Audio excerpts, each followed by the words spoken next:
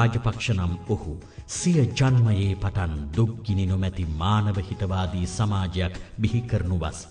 පිය ආර ඔස්සේ පැමිණ මව් ආරට මුල්ගල් තැබුවේය. ඒ එක්දහස් නවසය අනූ හත වසරයි. අපේ රටේ ඉංජිනේරු ඥානයත් අපේම මිනිසුන්ගේ උද්‍යෝගිමත් ශ්‍රමයත් උපයෝගී කරගනිමින්.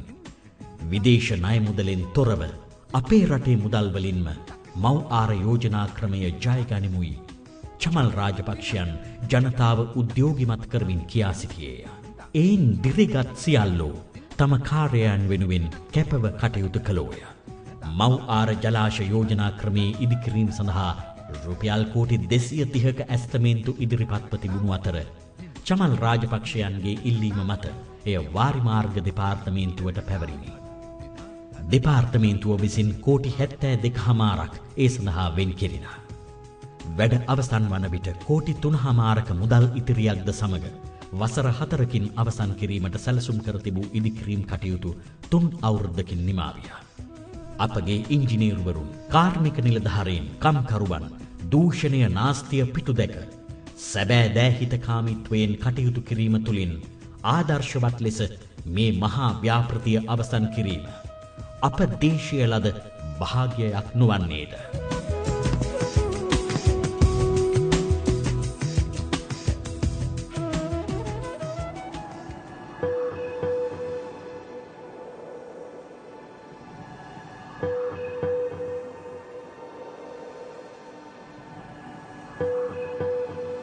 චමල් රාජපක්ෂ නම් වූ මේ සුවිශේෂී මිනිසා එක් දහස් නවසය අසූ පහවසරේදී අපේක්ෂකයෙකු ලෙස ආරම්භ කළ දේශපාලන ගමන් මග පියවරෙන් පියවර ආරෝහණය වූවා මිස අවරෝහණය වූයේ නම් නොවේ.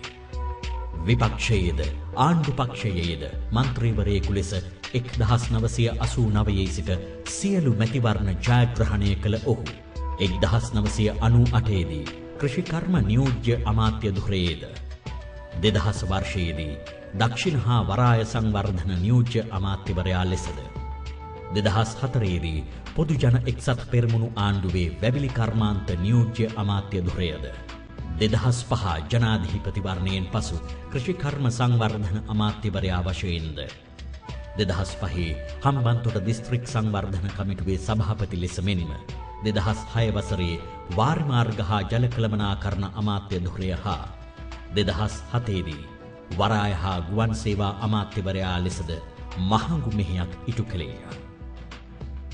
මේ සියල්ල අතර සුවිශේෂතාව නම් දෙදහස් පහ වසර වන විට තම අදරැති මහින්ද මල්ලි ශ්‍රී ලංකාවේ විදායක ජනපති දුරයට පත්වීමයි. එය රුහුණේ වීර කැටිය මැදමුලන මහගෙදරින් ඇරවී. ජනතාවාදී දේශපාලනයේ අග්‍රඵලය විය.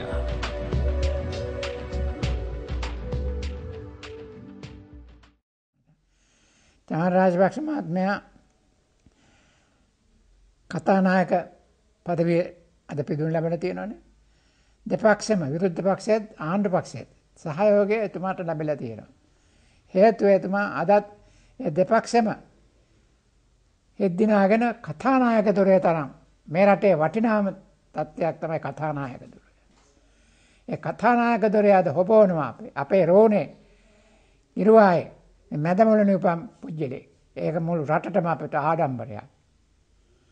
ඒ නිසා චමල් රාජපක්ෂ මහත්මයාගේ ජීවිතය ඉතාම සාර්ථක ජීවිතයක් මුළු රාජපක්ෂ පවුලම බබලවන්නට ශක්තිය එතුමාට ලැබුණා. ඉදිරියටත් රාජපක්ෂවරු හැර මේ රටේ නායකත්වයට කිසි කෙනෙක් නැහැ. මේ රටේ නායකත්වයට එකම හිමකම් කිය යුත්තේ රාජපක්ෂවරු පමණයි.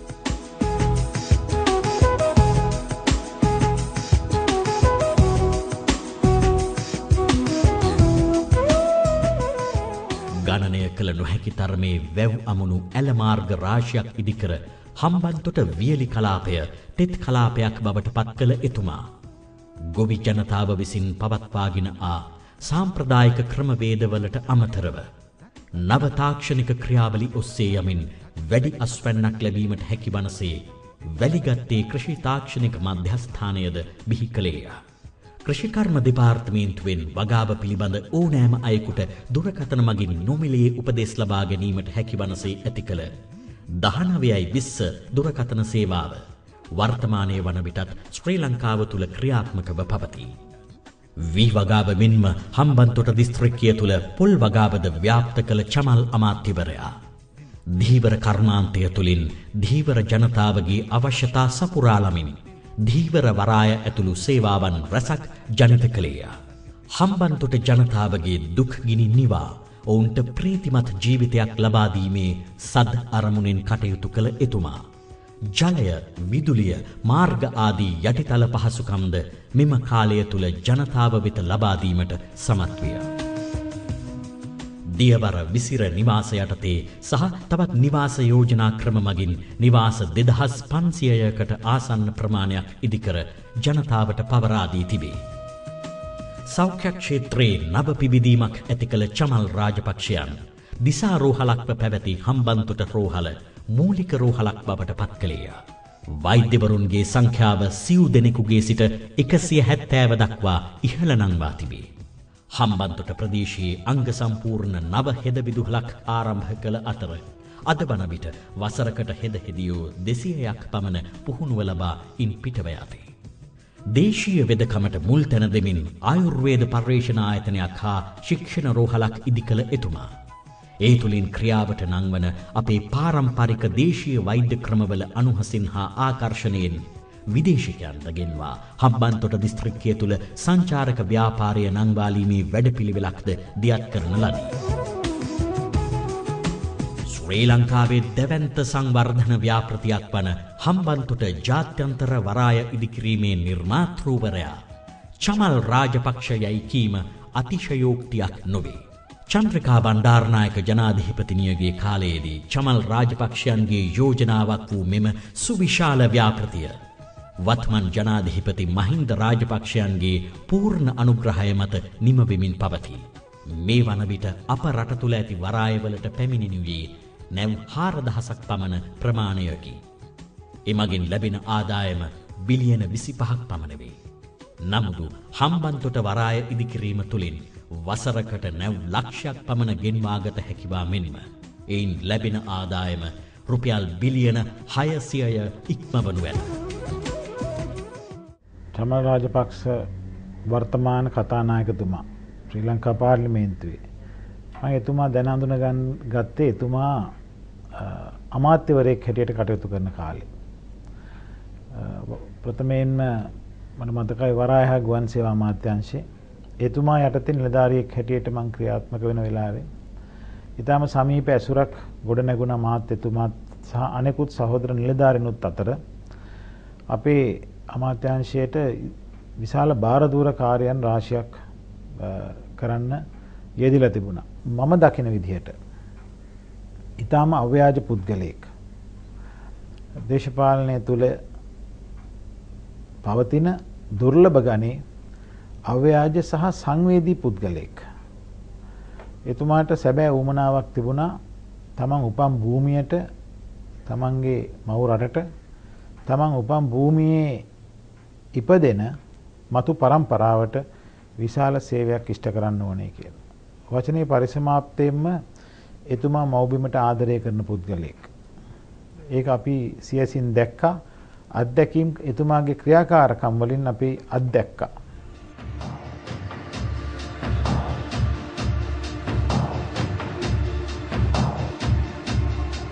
චමල් රාජපක්ෂයන්ගේ එදා මෙදාතුර සංවර්ධන ක්‍රියාවලිය සුළු පටුණුවන්නකි.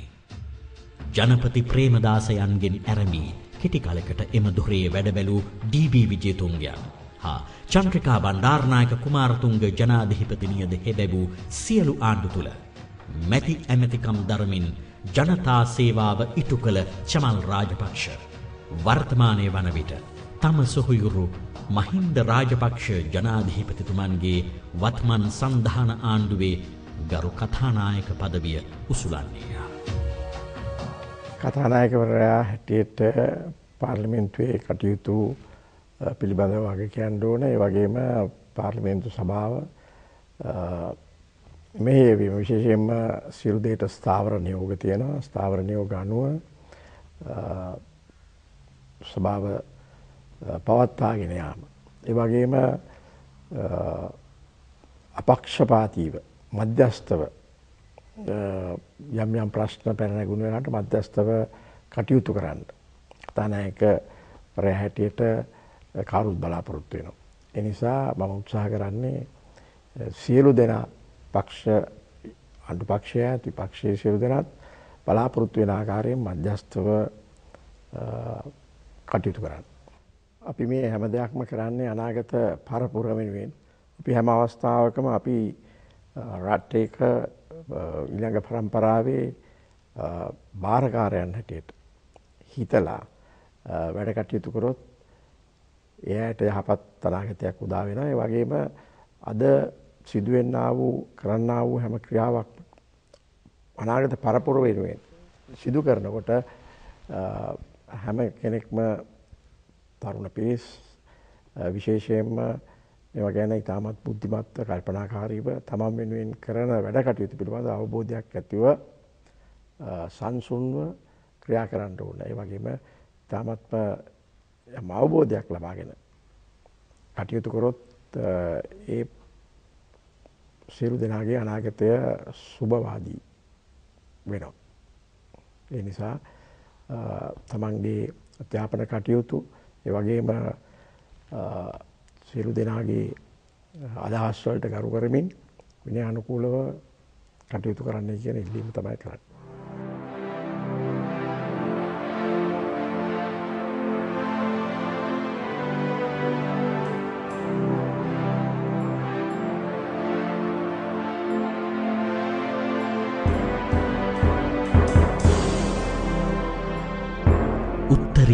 පාර්ලිමේන්තුවේ කථානායක පදවිය යනු ගරුගාම්භීර වූ මහාපුරුෂයකු විසින් හෙබවිය යුතු උතුම් නිල ප්‍රාප්තියක් වන්නේය. තම දිවිය පුරාවට සුරැකි උත්තම චරිත ලක්ෂණයත් මනාශික්ෂණය හා ඉවසිලිවන්ත වූ විශ්වගෝචර බුද්ධියත් ස්ථානෝචිත ප්‍රඥාව මෙන්ම නොසැලෙන එඩියත් යන සියල්ල සපිරි මිනිසකු විසින් මෙම පදවිය ඉසිලිය යුත්තේය. තමා තුළ තමාවත් තමා පෙරටුව සිටිනා අන්‍යයන්වත් නිසි තැන නිසි ලෙස තැබිය හැක්කේ එවන් ලක්ෂණයන්ගෙන් පූර්ණත්වයට පත් අයකු හටම පමණි. වත්මන් පාර්ලිමේන්තුවේ ගරුකථානායක තැන්පත් චමල් රාජපක්ෂයන් තුළ මෙකී සත්පුරුෂයා සැබැවින්ම ජීවත් වන්නේය. ඒ වූ සත්‍යය මිනිසුන් වන අපට පමණක් නොව දෙවියන් හටද රහසක් නොබේමය. මන්ද හේ යුක්තිගරුක මිනිසකු නිසාය.